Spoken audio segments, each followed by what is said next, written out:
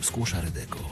www.redeko.pl Sezon łyżwiarstwa szybkiego trwa. Impreza czterolecia już jednak za wszystkimi sportowcami, którzy uprawiają konkurencje zimowe. Polska reprezentacja podbiła serca kibiców świetnymi występami w Igrzyskach Olimpijskich w Soczi. Wkład w dorobek medalowy miała Natalia Czerwonka z Kuprum Lubin. Nasza łyżwiarka wspólnie z drużyną zajęła drugie miejsce w wyścigu drużynowym. To pierwszy medal dolnośląskiego sportowca w historii zimowych występów biało-czerwonych. Lubinianka oraz jadące z nią w polskiej ekipie Katarzyna Bachleda-Curuś, Luiza Złotkowska miejsce na olimpijskim podium zapewniły sobie po wygranej w półfinale z Rosjankami. W wyścigu o złoty medal biało-czerwone zmierzyły się z faworytkami rywalizacji Holenderkami w finale nie startowała Natalia Czerwonka. Trener naszej reprezentacji Krzysztof Niedźwiecki zdecydował się zastąpić Lubiniankę Katarzyną Woźniak, by ona także mogła otrzymać olimpijski medal. Rywalizacja o złoto miała jednostronny przebieg, Holenderki były zdecydowanie lepsze, ustanawiając kolejny rekord olimpijski. Jak się później okazało,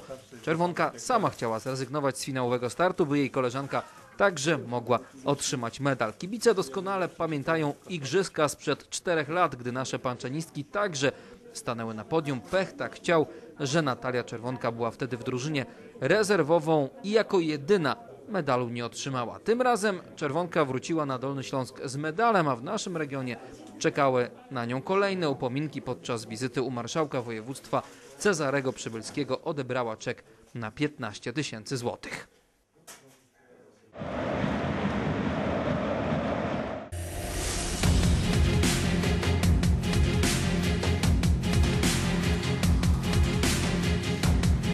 Centrum Skłosza Redeko. www.redeko.pl